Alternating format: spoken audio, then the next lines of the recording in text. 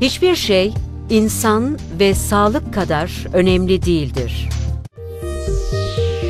Avrasya Hospital Sağlık Rehberi kiloluyum. Ee, kendime dikkat etsem de kiloları almakta artışı görüyorum vücudumda. Çünkü kıyafetlerim olmuyor. Ama yüzümü de daha çok önemsiyorum. Özellikle göz kapağı gerdirmesi yapılır mı diye gelen sorularımız var hocam. Şimdi göz kapağı ameliyatı yapılıyor tabii ki. Ee, göz kapağının alt kısmında yani alt göz kapağında torbalanmalar erken dönemde ortaya çıkabiliyor. Ee, bu durum e, strese bağlı, e, uykusuzluğa bağlı e, ve vitamin eksikliğine bağlı olarak ortaya çıkabilir. Özellikle stres ve uykusuzluk çok ciddi etki yapıyor. Bir de sigara e, ciddi etki yapıyor bu görüntünün oluşmasında. Üst göz kapağı daha e, biraz daha geç yaşta e, fazlalık ortaya çıkıyor. Gevşeme, relaksasyon dediğimiz e, tablo ortaya çıkıyor ve böyle bir katlantı göz kapağının üstünde ortaya çıkabiliyor. Bu göz bozukluğu olanlarda da, e, ileri derecede astigmat olanlarda da ortaya çıkabiliyor. Bunu da söylemek lazım e, bu ameliyata gelenlerin öncelikle bir göz doktoru göz muayenesinden evet. de geçmiş olması gerekiyor. E, çünkü ileriye yönelik bu problem özellikle gözünü çok kısan insanlarda e, göz kapaklarının yanındaki bu e, kazaya dediklerimiz e, problemler yeniden tekrar edebilir.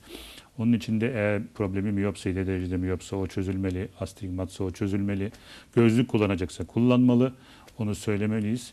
E, tabii o da ayrı bir imaj değişikliğine yol açıyor ama e, veya işte lens tercih edecekse o olmalı mutlaka. E, üst göz kapağına e, blefaroplasti dediğimiz, germe değil de blefaroplasti dediğimiz o sarkan cilt ve kasın alınması ameliyatını yapıyoruz. Alt göz kapağında yine kırışıklıklar için kas ve derinin birlikte çıkarıldığı, bir de bu kas ve deri tabakasının arkasında diyafram dediğimiz, bizim septum dediğimiz bir bölme var.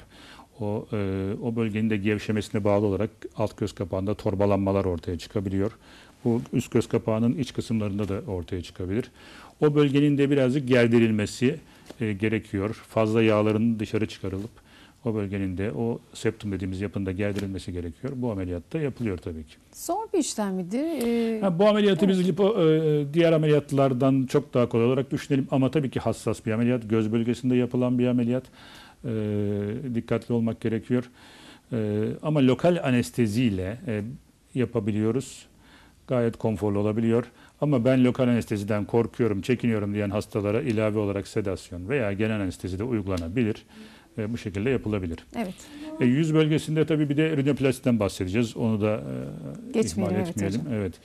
evet. E, en çok tercih edilen ameliyat günümüzde e, rinoplasti. Hiçbir zaman ilk sırayı bırakmıyor.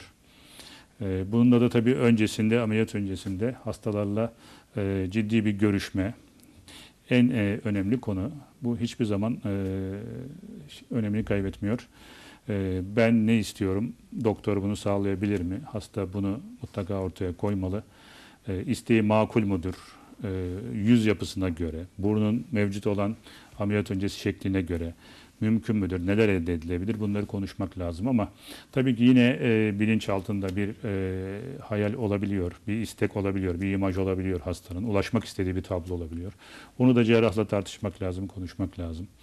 E, Net o zaman ortaya çıktıktan evet, sonra. Ortaya evet. her şeyi net olarak ortaya koyduktan sonra e, rinoplasti ameliyatına kalkışılabilir.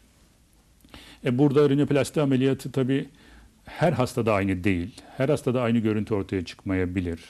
E, yapılan işlemler içeride benzerdir ama e, işte kemiğin e, çok çıkık olması yani kemer dediğimiz bizim hump diye tabir ettiğimiz e, kemiğin fazla ileri çıkık olması, e, burnun ön kısmının çok geniş olması, uç kısmının çok geniş olması, lobüle bir e, burun ucu olması, e, burnun alt kısmının çok sarkık olması, e, burnun e, alınla olan açısının e, düz olması, düz alnın çok geride olması, çenenin çok geride olması, orta yüzün az gelişmiş olması, türlü türlü problemler e, rinoplasti hastasının e, bu burun probleminin yanında olabilir, birlikte olabilir bu problemler. Bunlar da yüzün yapısını etkileyecektir. E, sadece burun ameliyatıyla e, imaj değiştirmek yeterli. tam olmayabilir, yeterli olmayabilir. Olmuyor.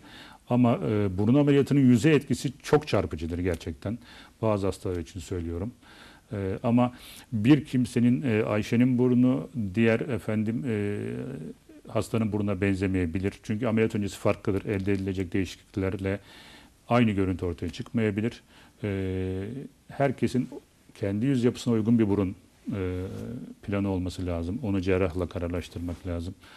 E, oluşacak görüntüyü az çok e, tahmin etmek lazım. Problemleri ortaya tek tek koymak lazım. Burun içi, burun uç kısmı için, alt kısmı için, dudakla burun arasındaki açı için, e, alın bölgesi için hepsini tek tek ortaya koymak lazım. Ondan sonra ameliyata kalkışmak lazım. Hiçbir şey insan ve sağlık kadar önemli değildir. Avrasya Hospital Sağlık Rehberi